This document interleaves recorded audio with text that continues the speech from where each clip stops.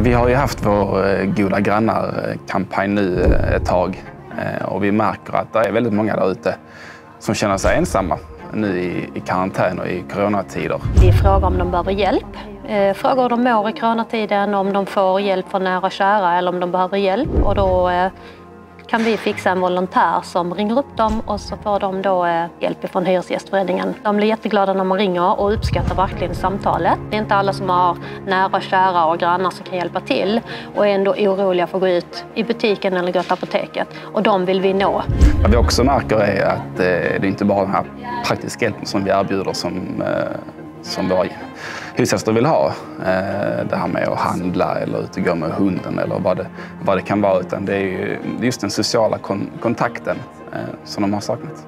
De berättar lite om hur ensamma de kan vara emellanåt och tycker det är tråkigt när de inte får eh, träffa sina barn, barnbarn och, och sina nära vänner. Gå på danskurser och sykurser och lite annat sånt som de saknar. Eh, jag har ju ringt till en äldre man som, var, som bodde i Landskrona faktiskt. Han, han hade ingen som hjälpte honom så han blev ju jätteglad att vi ringde och sökte upp honom för att han visste inte riktigt vad han skulle göra och vem man skulle ta kontakt med. Så att det var verkligen tacksamt samtal där jag kunde slussa ihop honom med en annan som kunde hjälpa honom.